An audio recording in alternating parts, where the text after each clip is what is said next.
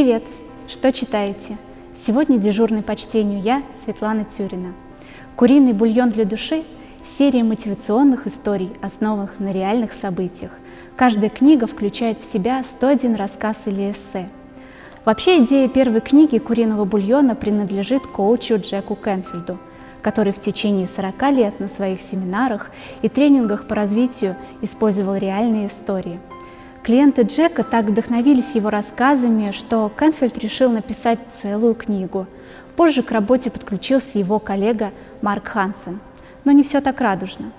На создание этой книги ушло три года. Авторы получили сотни отказов от издателей, прежде чем небольшое издательство согласилось его опубликовать, но при условии, что будет продано не менее 20 тысяч экземпляров – в итоге через полтора года было продано более миллиона экземпляров.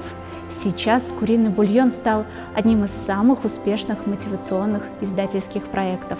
Это настоящий бренд. Первую часть моей жизни я была заложником обстоятельств. Я родилась слепой, или вернее официально слепой. Кроме меня в семье было еще два ребенка. Моя мать была слепой, а отец – неравновешенным и вспыльчивым алкоголиком – я росла застенчивой, испуганной, одинокой девочкой и старалась стать невидимкой, когда ситуация в доме становилась невыносимой. Моя мать была доброй и любила своих детей, но и не хватало сил, чтобы защитить нас от нервных срывов алкоголика отца. Я часто убегала к дедушке и бабушке, в их доме я чувствовала себя в безопасности. А когда мы ходили в церковь, то среди прихожан встречались люди, которые во время службы стояли в проходе, кричали и били себя кулаками в грудь. От этого я еще больше пугалась и уходила в себя. Я поняла, что Бог сильный и страшный и может наказать тебя, если ты плохо себя ведешь. Мой дедушка и бабушка очень меня любили и заботились обо мне. Я позволяла им во всем мне помогать. Они даже одевали меня и завязывали мне шнурки.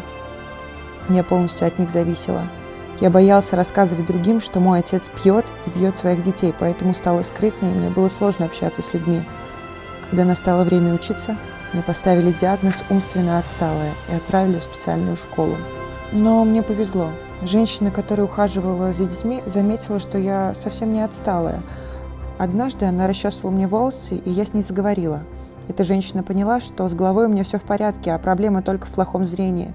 Она настояла на том, чтобы меня перевели в специальный класс для детей с ограниченным зрением. Я почувствовала себя лучше и постепенно начала хорошо учиться. Я могла видеть буквы, если они были достаточно большими. Мне нравилось учиться, и мне было приятно, когда мои успехи в учебе замечали и хвалили. Постепенно исчезали страхи, которые я ранее испытывала. Общаться с людьми мне было непросто, но я научилась бороться со страхом и добиваться своей цели.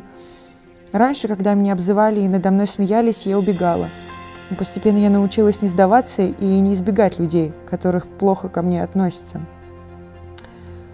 Я смело защищалась от тех, кто стремился меня унизить и стояла на своем. Вскоре от меня отстали и оставили меня в покое. В один прекрасный день мне сообщили, что следующего года меня переведут в обычную школу. Я очень испугалась и снова стала замкнутой, застенчивой, испуганной, но все-таки я пошла в нормальную школу. Первый год обучения был очень сложным. Меня, просто, а, меня постоянно третировали за то, что я плохо вижу. Я чувствовала себя ужасно. Меня толкали, на меня налетали и называли плохими словами. Я не выдержала и убежала. Одним из моих дедьев пригласил меня пожить у него на ферме. Я открыла для себя новую свободу. Там я могла падать и вставать без посторонней помощи. Я бегала и играла, смеялась, пряталась в сарае с сеном – Мои родственники с любовью относились ко мне и поддерживали во всех моих начинаниях.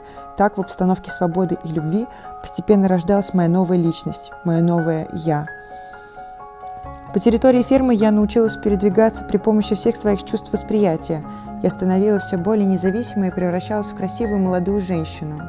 Сегодня серия куриного бульона насчитывает свыше 250 наименований для разных целевых аудиторий – родители, дети, взрослые, бабушки и дедушки, подростковые отношения и разбитые сердца.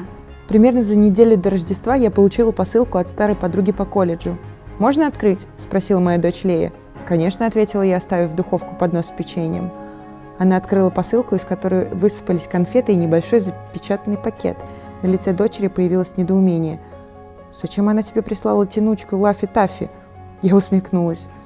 Мы с ней ели их, когда готовились к сессии. Как давно это было, на каждом фантике напечатана шутка. В магазине при общежитии колледжа эти конфеты продавали по 10 центов штука. Это были квадратные крупные тянучки со вкусом фруктов. Помню, что моим любимым вкусом был тогда банановый. Лея жевала конфету, читая напечатанную на фантике шутку. Ее сестра Хлоя тоже съела одну конфету. «А ты не хочешь?» – спросила меня Хлоя. «Не отказалась бы, но не хочу убивать свои пломбы», – ответила я. «Нет никакого желания идти к зубному прямо перед Рождеством». Девочки съели все конфеты, а я развернула пакет и прочитала вложенную в него записку. «Просто решила тебе послать что-нибудь душистое. Успехов, Лиза!» Внутри оказалось два освежителя воздуха. Ежегодно в серии выходит порядка 10 новых книг, как и прежде состоящих из мотивационных рассказов. Сегодня серия куриного бульона насчитывает свыше 250 наименований для разных целевых аудиторий – родители, дети, взрослые, бабушки и дедушки, подростковые отношения и разбитые сердца. Книги этой серии переведены на 43 языка и опубликованы в более чем 100 странах мира – Составитель этой книги Эми Ньюмарк, которая после долгой карьеры автора книг по телекоммуникациям, объемистых финансовых отчетов, бизнес-планов, а также корпоративных пресс-релизов, стала издателем, главным редактором и соавтором книги «Куриный бульон для души». К слову, этот сборник является новинкой книжного фонда, который пополняется ежемесячно. В апреле 2013 года я собиралась бросить заниматься искусством. У меня было заболевание глаз, пигментный ретинит или пигментная дистрофия сетчатки, и оно обострилось. Из-за болезни я уже потеряла работу в социальной сфере и водительские права.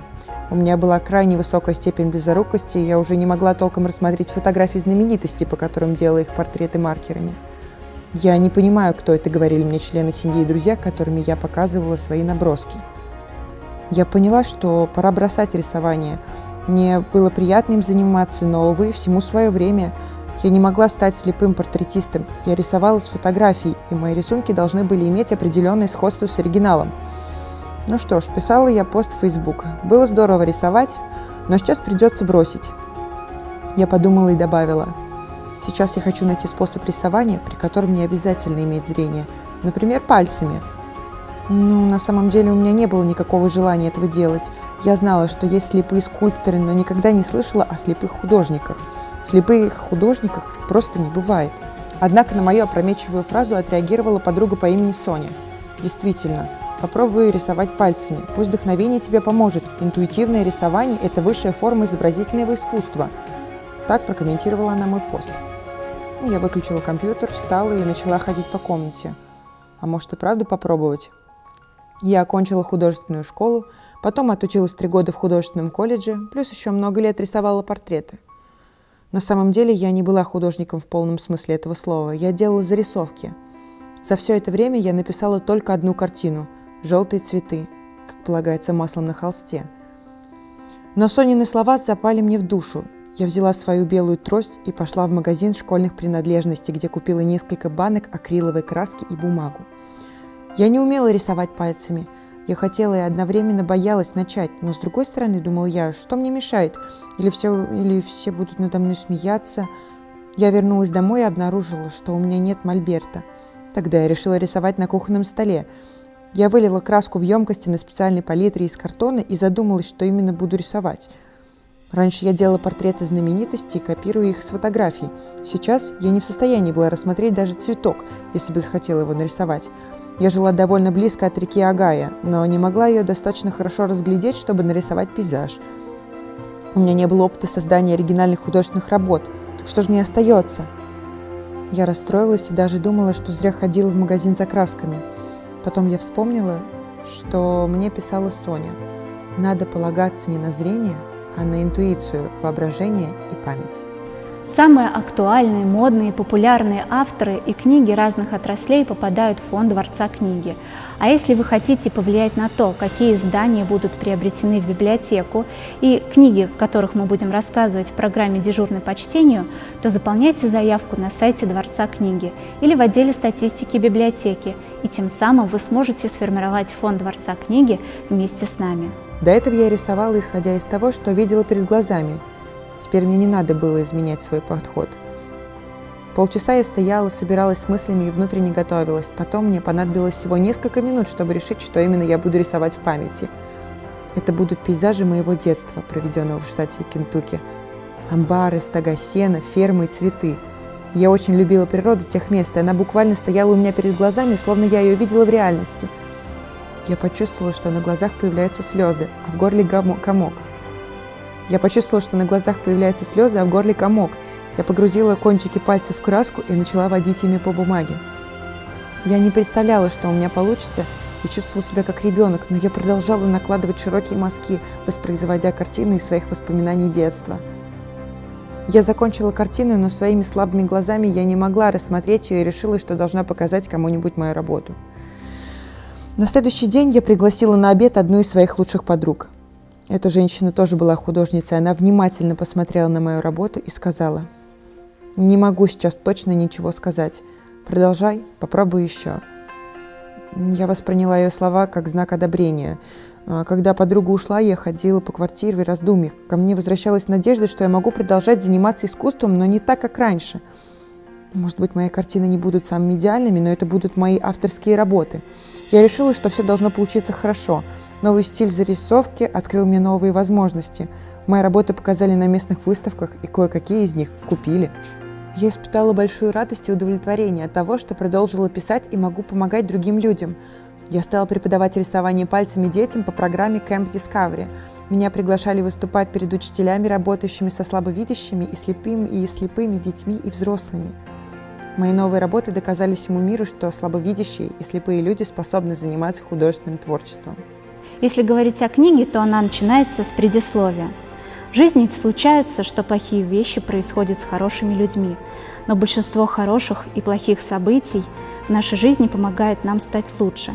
Мы становимся более щедрыми, заботливыми и внимательными, более любящими. У нас появляется сострадание к людям. Мы больше живем в настоящем, чем в своих воспоминаниях или мечтах. Так пишет один из авторов Фрэн Дрешер. Так как же принять тот факт, что плохие вещи случаются с хорошими людьми – как пережить потерю. Реальные истории героев этого сборника доказывают.